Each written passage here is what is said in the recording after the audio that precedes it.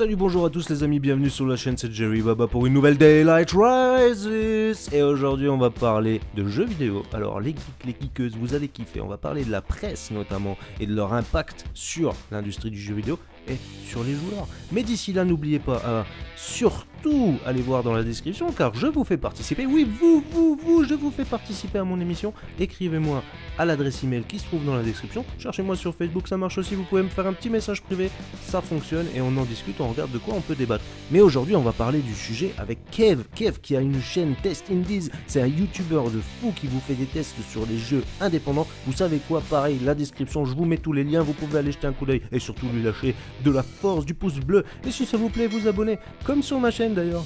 N'hésitez pas à vous abonner, à lâcher le petit pouce bleu de bonheur si cette vidéo vous fait plaisir.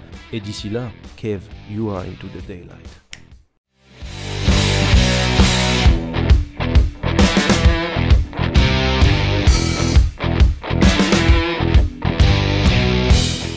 Kev, salut mon ami, comment tu vas bien aujourd'hui?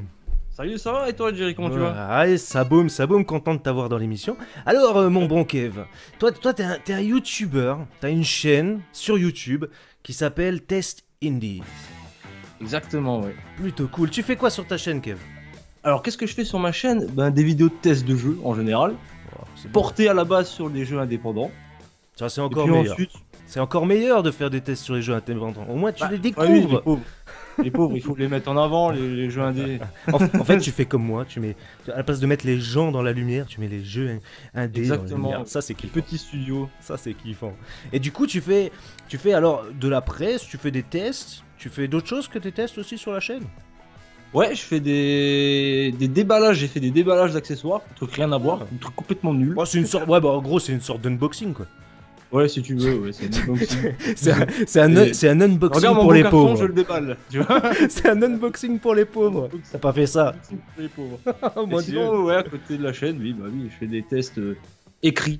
Ah ouais, cool. Ah, donc tu fais de la presse écrite aussi. Plutôt pas mal. Exactement, Et co- comment tu t'es lancé dans tout ça alors, dis-moi? Ouais, alors ça remonte en 2018. Ah. J'ai commencé sur euh, Facebook en fait. hein. J'avais fait ma petite chaîne, euh, ma petite page, pas ma chaîne, Ah. sur Facebook. Petite page. Et je me suis dit, tiens, euh, j'aime bien les jeux AD, j'aime bien ce qu'ils proposent, et je vais, je vais rédiger des tests. Comme ça, par pur plaisir. Ok. Puis de fil en aiguille, je me suis dit, tiens, euh, avec mon collègue je fais, pourquoi on ferait pas des vidéos sur YouTube de ces tests? Ok, vas-y, on se lance. C'était C'est la pour ça que tu nous vois, on est deux sur le logo. C'était la bonne période en vrai. C'est mon collègue. C'est les copains, c'est les copains. C'est bien de partager, c'est bien. Faut Ah, partager. bien sûr, ouais, euh, vas-y. Et du coup, vous êtes vous êtes lancé comme ça sur YouTube, ensemble. Tac, on fait des vidéos maintenant sur les jeux indés. C'est ça, exactement. Il n'y avait pas encore de presse hein, à ce moment-là. C'était vraiment. Ouais, c'était c'était jeune, hein, ça c'était jeune. Et du coup, euh, t'as commencé à te lancer là-dedans avec ton pote. Ça a fonctionné? Vous étiez content du, du, du retour des, Ouais, des ouais, viewers? bah, lui, il a fait 5 vidéos, je crois, 6 vidéos de son côté, parce que bon, avec le temps que ça prend aussi, ça prend énormément Ça de temps. Toi-même, tu sais le temps que ça prend. Ah, ça prend du temps. Ah, je confirme, je confirme à 100%, ça prend du temps. Après, voilà, je me suis retrouvé tout seul, mais je continue co- encore avec mes collègues à jouer à Phasmophobia, des conneries. Plutôt cool. Donc tu stream aussi, quoi. Je stream aussi, j'ai encore stream aujourd'hui. Donc, Ça, euh, c'est cool. Cool. Les amis, d'ailleurs, je vais vous mettre dans la description tous les liens pour suivre Kev. Je vous mets tout ça, vous allez lui faire un petit coucou sur, sur son stream, il sera toujours content. Tu streams sur quoi? Sur Twitch ou quoi? Sur Twitch Ouais, sur et YouTube Twitch. en même temps. Ah, et sur les deux, d'une pierre deux coups. Ouais, justement, je mets tout ça en description, allez, allez jeter un oeil. Allez un. Moi, je t'ai déjà vu, hein. Plutôt pas mal. Moi, j'ai vu. Ah bah oui, je t'ai déjà vu. Bien sûr que je t'observe, je t'observe, Kev, je t'observe. Et du... c'est ça. Ouais, pas- ouais, bon, quand même. Alors, du coup, euh, du coup, du coup, du coup, après, qu'est-ce que t'as fait? T'as t'as eu, euh, eu une entrée aussi pour euh, Pressplay, alors, euh, ce, ce fameux blog de presse jeux vidéo Ouais. ou- Comment ça s'est passé pas- ça? Bah, en fait, si tu veux, c'était même pas Pressplay à l'époque. C'était Games Market, le blog. ok. Géré par mon ami euh, Thomas, qui un jour a laissé, a laissé un post sur un groupe Facebook. Je pourrais plus te dire le nom du groupe Facebook parce que je me rappelle plus. Oui. Et chercher des rédacteurs, testeurs euh, pour le blog. Je me suis proposé, je lui ai montré ce que j'ai écrit moi de mon côté avec mes jeux indés de base. Il a dit ouais c'est cool et tout, bah vas-y viens.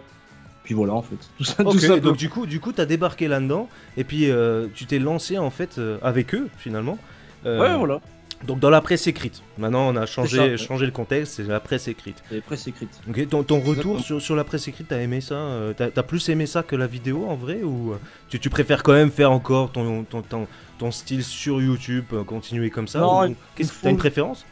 Il me fout toujours la vidéo, je pense. Tu vois, dernièrement, les, les tests que j'ai fait pour Pressplay, d'ailleurs, comme euh, Immortal Phoenix Rising, ça, c'est des tests dédiés pour Pressplay et c'est de la vidéo. Ah, T'as pas des- vraiment d'écrit, tu vois. Ah oui, ok, ouais, ça c'est encore Faut un peu toujours un peu ma dose de, de folie, quoi. Pas forcément mettre en écrit, tu vois.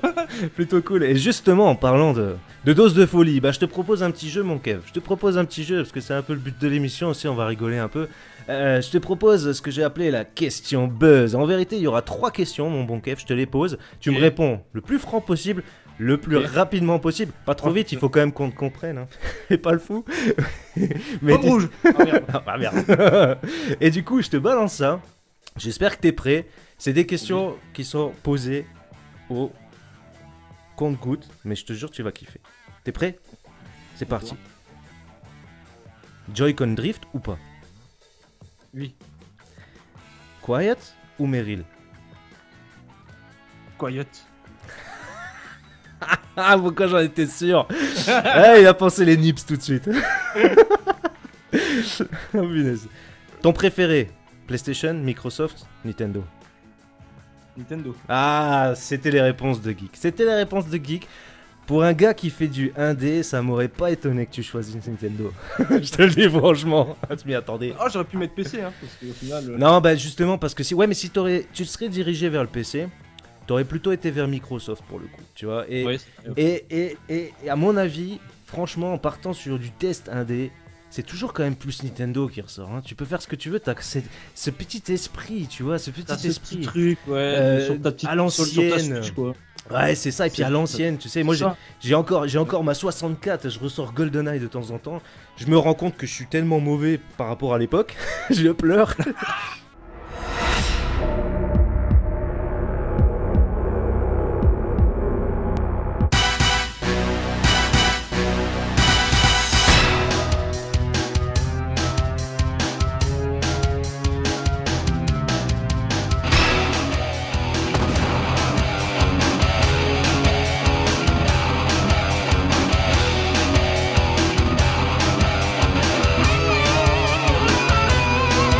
Et je me dis, putain, c'est vachement facile maintenant. Et à l'époque, c'était dur, hein.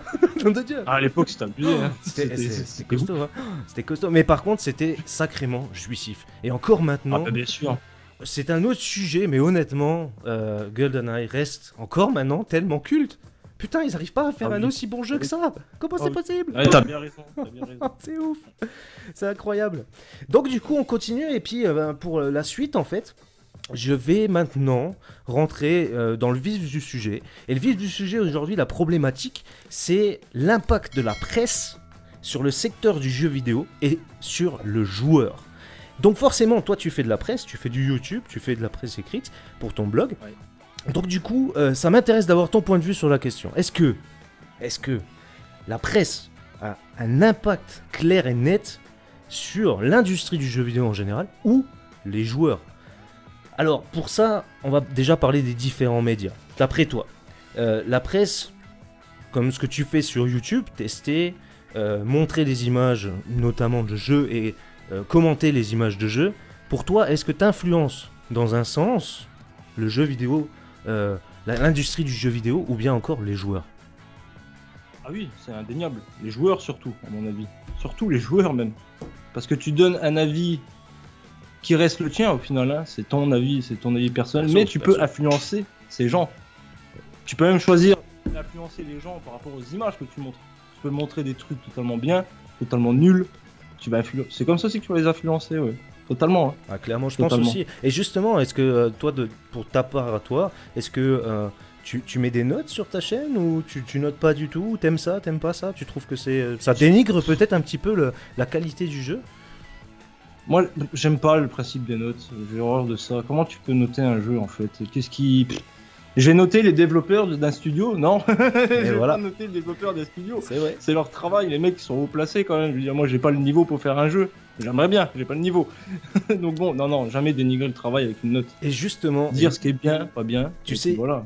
moi, mon prof de maths, quelques années en arrière déjà maintenant, ils disaient toujours Je vous mettrai jamais 20 sur 20. 20 sur 20, c'est réservé aux profs. Alors les, les éditeurs ils peuvent se mettre 20 sur 20, les autres pas. Bah le zéro c'est pareil. Et puis les notes en vérité c'est un petit peu la même chose, je pense comme toi, que c'est pas bon, c'est pas bien de noter les jeux vidéo. En vrai, ça, ça dénigre le travail qu'il y a derrière. Parce que même un jeu qui est pas terrible, il faut s'imaginer le travail qu'il y a derrière. Est-ce que toi, tu as rencontré des gens comme ça? Tu as rencontré des éditeurs, t'as des, des, des développeurs euh, de, de jeux vidéo? Ça t'est arrivé? De rencontrer des. Ah oui, un grand. Ah, qui Monsieur donc Kojima. Ouah Ouah Kojima. Non, ça c'est quand... ouah, non, ça, c'est quand même la classe. Metal Ça- Gear, Death Stranding. Ah, ah. T'as rencontré Kojima. Games Week 2019. ouais. Et moi, tu- m'en parles, j'ai des frissons, là. Con. T'as- C'est sérieux, c'était comment c'était Ça a pas, ça t'a pas, ça t'a pas fait quelque chose Si, quand ça m'a même fait... Ouais, ça m'a fait tout drôle. Ouais. Il est aussi petit que moi, il est pas très grand. Hein. Il est... Sérieux son... Comment il s'appelait son lead Allez, designer vous je savez quoi les enfants Allez, allez, je suis pas comme ça, moi je vous pète une petite, euh, petite photo justement de notre bon Kev avec notre Kojima. Écoutez, c'est quand même la classe. Moi je te dis franchement, j'aurais aimé être à ta place quand même. J'aurais grave aimé être à ta place. Parce que Ah, franchement, ouais. C'est quand même, bon ok, nous on, on est des gens, toi comme moi, moi j'aime ça aussi, je connais aussi un peu du jeu vidéo, je m'y intéresse au-delà de- du gaming quoi, hein, j'ai envie de dire un peu dans les contours et ceux qui s'intéressent un peu à ça connaissent Kojima, connaissent son travail et son travail notamment chez Konami à l'époque et maintenant avec Death Stranding, avec son studio, son propre studio, c'est quand même sacrément... euh, c'est un, grand bonhomme quoi, malgré sa petite Ah oui. taille, il est grand quand Ah même oui, c'est un, ouais, c'est un grand bonhomme. il est grand quand même le gars. D'ailleurs, rumeur de la Death Stranding PS5 avec un ajout. Ah ça c'est du lourd On verra bien. Eh, à ce qui paraît, à ce qui paraît, à ce qui paraît, hein, j'ai entendu aussi, à ce qui paraît, ils veulent, euh, ils veulent quand même faire, euh, comment ils appellent ça, un, une- une- un rajout d'histoire. Hein, c'est pas juste maintenant un- un- Ouais. un- un- une bête mise à jour PS5, c'est ça. Et franchement, moi qui ai joué aussi à Death Stranding, je, je veux savoir ce que toi t'en penses, mais alors, je veux savoir ce que ça va donner avec l'aptique et les gâchettes adaptatives. Ça va être Ah, la ça va être folie. génial. Ça va être de la Ça folie. génial. Quand tu, dois, tu vas tomber à gauche ou à droite, t'as tes gâchettes qui vont réagir direct. Et le poids, et le poids. Non, non, ça va être de la folie. Bon, si pour ceux qui nous regardent et qui n'ont pas fait le jeu, faites-le. Vous allez voir un petit peu ce que ça peut donner sur euh, Current Gen, hein, sur PS4, sur Xbox. Et euh, franchement, imaginez-vous ce que ça peut donner avec des gâchettes adaptatives. D'ailleurs, si vous savez pas ce que c'est, les gâchettes adaptatives et euh, les, les- les gâchettes adaptatives et le retour haptique, vous allez voir dans la petite vidéo, je vous la mets en haut. euh, je vous ai fait une petite vidéo il y a quelques temps de ça, et vous revenez nous voir. Ensuite, mon Par bon, euh, euh, dis-moi ouais. mon bon Kev. Par contre, qu'est-ce que tu voulais dire? Par contre, j'allais dire, toi derrière ta caméra, si tu fais Death Stranding, il joue pas qu'une heure.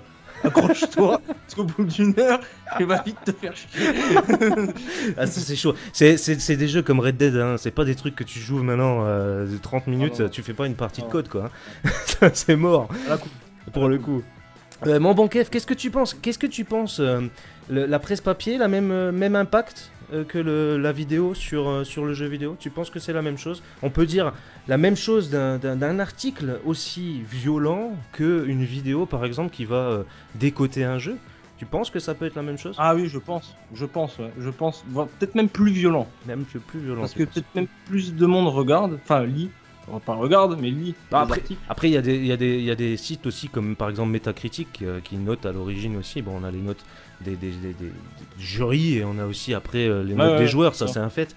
Mais c'est vrai que tu penses vraiment que ça a le même impact, voire même plus. Ça c'est intéressant. Ça c'est Moi, je intéressant. pense que ça va même plus, même plus. Ça c'est ouais. super intéressant. Et Tu justement. vois ce qui s'est passé euh, avec Cyberpunk. ouais. Ouais, ça, Cyberpunk, Cyberpunk c'était la violence. hein. Ah, c'était la violence. hein. Moi, je te dis, je paierais cher pour une copie, euh, pour une copie PS4 développeur. Ça Je sais pas. Tu parles de ça peut-être. Oh mince alors, oh bah la voilà, ah la voilà, garde là les collectors c'est là. tu peux voler avec Oui. les, tu peux voler avec les voitures et tout. Ils ont fait le cinquième élément de, de Luc Besson là-dedans. Ils sont plantés là. ah les cons.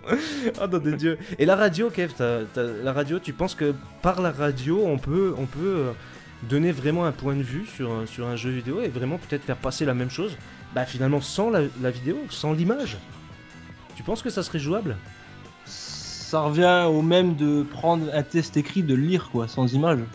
Ouais, c'est pas Au faux. final. Mais dans les tests écrits, t'as quand même des illustrations. En, en Oui. général, Oui, quand tu en regardes, général, t'as- t'as illustrations. t'as les illustres. Illustrer tes propos. Mais euh, Moi, moi, moi, je te ah, dis, c'est intéressant. il faudrait voir bien raconter, tu vois, avec ou alors encore mieux avec la voix d'un personnage qu'on connaît peut-être de jeux vidéo, tu vois. Genre, euh, je prends la voix, par exemple, la voix française de. euh, comment il s'appelle? Ah, la voix française dans euh, The Last of Us de Joël, tu vois. Si tu prends cette Ah oui, voix-là, oui. par exemple, et que tu racontes un petit peu une critique, par exemple, de The Last of Us, je suis sûr que ça. Ça pourrait vraiment bien marcher aussi, et tu pourrais avoir un sacré impact pense, derrière. y a moyen, ouais. Ah, ça Bah, faut que tu te lances, vas-y, fais ça. Moi Moi Demain, Jerry Baba sur Audible. C'est audible, t'es sérieux? Il est fou, il est fou, ce mec, il est fou Ouais, ça pourrait être drôle en vrai, ça pourrait être drôle. Mais euh, ouais, mais après, je peux faire une voix sensuelle si tu veux. Un truc. allez, on se met à deux, on arrive à faire un film de cul. à la fin. Non, non, allez, ah, on arrête, Oh, on arrête, on arrête, on arrête. Je m'en vais. allez, allez, on, on éteint, on éteint les gars. Alors, euh, mon bon Kev. Écoute mon bon Kev. Déjà de un, ça m'a fait plaisir de t'avoir avec moi, ça m'a fait plaisir de parler Ah, de de tout ça. Et écoute, euh, je te dis déjà une chose. Ton travail, je l'apprécie, j'adore ce que tu fais sur ta chaîne et je demande à tout le monde d'aller jeter un coup d'œil. Je mets tout en description, les copains. Vous allez voir, vous allez jeter un coup d'œil à la chaîne de Kev et surtout, ben, n'hésitez pas à vous abonner hein, et à partager parce que ça fait plaisir. Euh, Abonnez-vous, partagez sa chaîne et puis euh, ben, prenez du plaisir parce que c'est vraiment cool. Le dernier en date, c'était c'était Resident Evil? Euh, Resident Evil, ouais. J'ai fait un petit test comme ça vite fait, ouais. Euh. Ma PS5. Eh, je m'en souviens, je l'ai vu, je l'ai vu. Mon bon Kev, pour finir notre, notre petite euh, séance euh, Daylight Rises, euh, je vais te poser une question. Et j'ai appelé ça la question What the fuck?